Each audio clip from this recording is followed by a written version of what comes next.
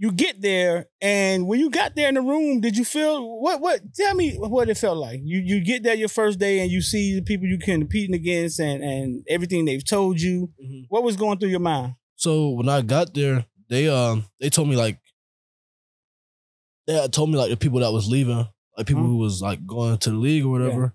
And then like I was on my phone one day and I was chilling. And I had saw something like pop up on my screen. It was like um it was like Chris Smith coming back. Uh Dan Dan Jackson staying. Like everybody was staying. Nobody left.